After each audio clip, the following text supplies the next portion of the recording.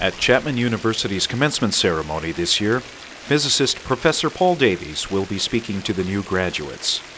Orange County Register science editor Gary Robbins met Davies at Chapman's Fish Interfaith Center to talk about the physicist's Templeton Prize winning work on the relationship between science and religion. Professor Davies, uh, in your Templeton Prize address, you recall that Einstein once said that the thing which interested him most is whether God has any choice in his creation. Do you believe in God? And if the answer is yes, do you think he had any choice in his creation? Uh, first of all, I don't believe in any sort of God that uh, the people who are viewing this video might uh, have in mind, uh, and nor did Einstein. So Einstein professed a cosmic uh, religious feeling by which he meant that when we use science to examine the universe, we're impressed not just by its majesty, but also by its subtlety and its ingenuity. Uh, and what he was referring to in his question was whether the universe could have been otherwise, whether it has to have the laws it does uh, by some sort of logical necessity, and if it doesn't, why this universe, why those laws? And in particular, we'd like to know why laws that permit the emergence of complexity, of life, and ultimately beings like ourselves who can make sense of the universe. That continues to interest me and many of my colleagues very deeply.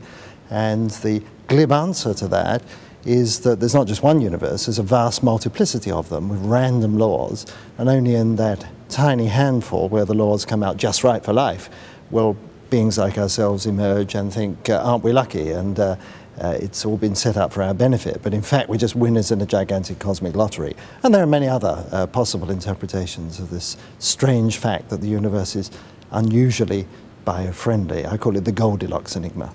Uh, can a person believe in the scientific uh, method of inquiry and believe in the existence of God? I don't think uh, in the existence of any sort of uh, popular God that involves um, intervening in the world's affairs. And this is an absolutely crucial point. Scientists believe that the universe can be explained by laws of nature, uh, so any uh, idea of a cosmic magician who can intervene and prod around move atoms about, tinker with genomes and so on, is complete anathema to scientists. But if uh, uh, by uh, this strange word God, which I hate to use because it has so many different meanings, if what you, you are referring to is, is there some sort of rational order or scheme of things, I think you can't be a scientist without believing that the universe is put together in this rational and, and ordered manner, and the job of the scientist is to uncover that order. You've said that a lot of people are hostile to science because it demystifies nature. Mm. I understand uh, that that's not logical, or it's not logical in my mind, but do you understand the viewpoint of the people who find it?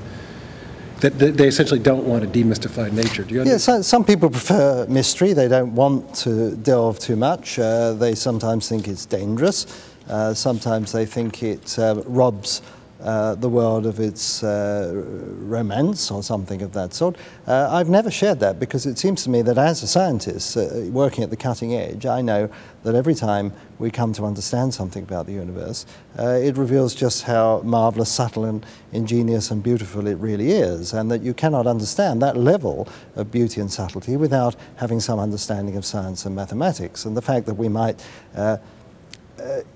all celebrate uh, the beauty of a, of a sunset, and that I can share in that as well, uh, doesn't diminish uh, in any way if you know something about the underlying physical processes that give rise to that, that, that makes it look even more magnificent. So I, I, see science as a voyage of discovery that exposes the true, deep, subtle wonder of the universe in a manner that simply does not come across uh, from other modes of thought. Do you have a soul? And if you do, what happens to it when you die? I don't think I've got a soul, and I don't think anything happens when I die. Thank you for your time. My pleasure. I really appreciate it.